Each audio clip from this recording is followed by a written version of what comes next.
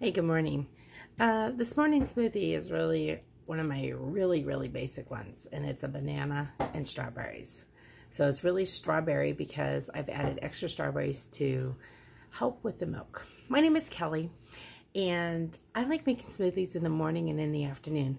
Now, I do put a banana in it, so that gives me like two servings of fruit, but I also use regular milk. I'm not here to sell you anything or talk about the type of protein I take or anything else. Just what I put in my smoothie to make me feel good. And I just wanted to let you know, you can do the same with yourself too. So I just got finished stirring it up. You don't need to watch people do that, I think, and then speed the video up. Yeah. So this is what it looks like. It's going into one of these. Now, if this is too much for you, my recipes are divided in half at the bottom. I put a full recipe at the top.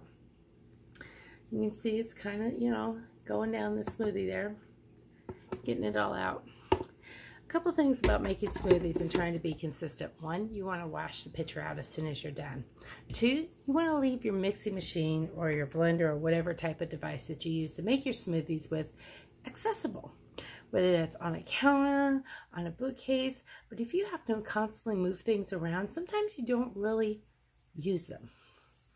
Uh, I've had to reorganize my counter a few times to use certain types of uh, tools. But if they're put away or hard to reach, you're just not going to do it.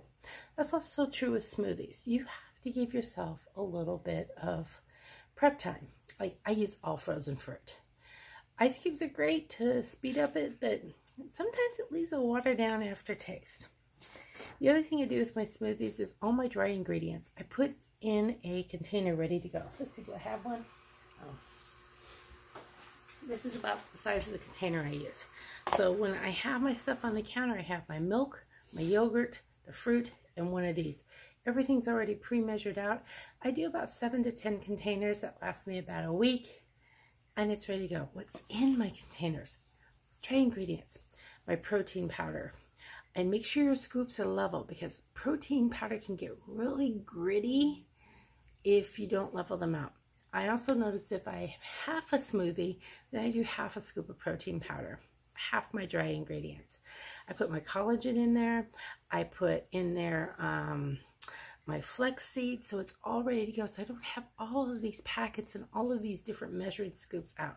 Usually end up with two measuring scoops in the morning, one for the yogurt because I just do a crater full of yogurt and it's usually plain or if I've had a yogurt that's been sitting in the refrigerator, one of the flavored ones, I'll throw that in instead of my other yogurt. Got my milk and my measuring cup for that, and right into the blender it all goes. Now, some of the new blenders will have the measuring on the side. Use that. Make it simple. It's about having fun with your food. That's the importance. Mmm. Oh, yeah.